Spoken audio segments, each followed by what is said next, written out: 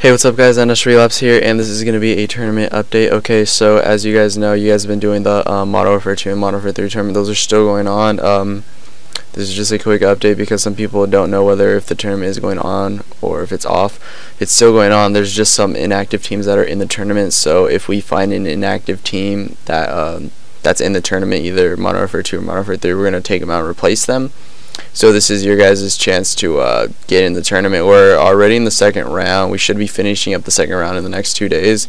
So we should be in that um, in that next uh, stage to finishing up the tournament. So if you're interested in joining either Modern Warfare 2 Modern Warfare 3 tournament as a late sign up, just remember um, message sniper leaderboards with your team name and the team leader and make sure that's a real team.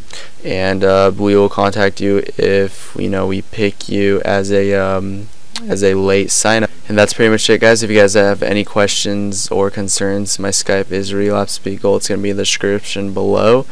Uh, we're going to be having two more tournaments coming out soon. It's going to be a Modern Warfare 2 Dubs tournament, and then it's going to be a Black Ops 2 1v1 tournament. So ultimately, be prepared for those videos so you guys could sign up. Uh, remember, the sign up links are going to be on the website under tourneys.